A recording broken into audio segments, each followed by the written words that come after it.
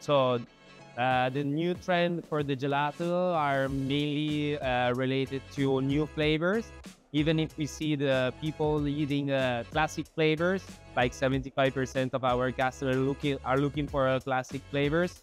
We always implement new combinations, and uh, uh, we are trying to develop something related to vegetable, like vegetables, fruit, or like everything that is not dairy. To break from uh, the classic concept, I guess my personal advice is to find a new mission, uh, find a new identity, and keep the identity straight in mind all the way.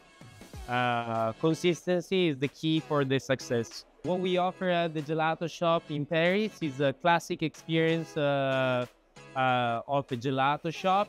We try to transform uh, uh, the experience that everyone has in Italy. We tried to brought it to bring it to Paris. Uh, what we did, we tried to give a twist. So we have like a, a new concept of gelato that has never been before. Uh, the most important is that every year we have a new theme that we try to develop.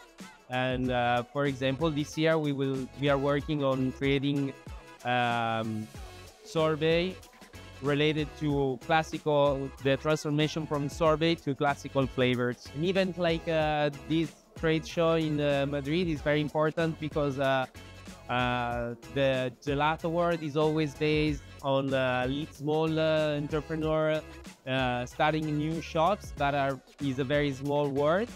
I think that this place and this uh, experience is going to open opportunities to develop bigger business but uh, there are very rare opportunities.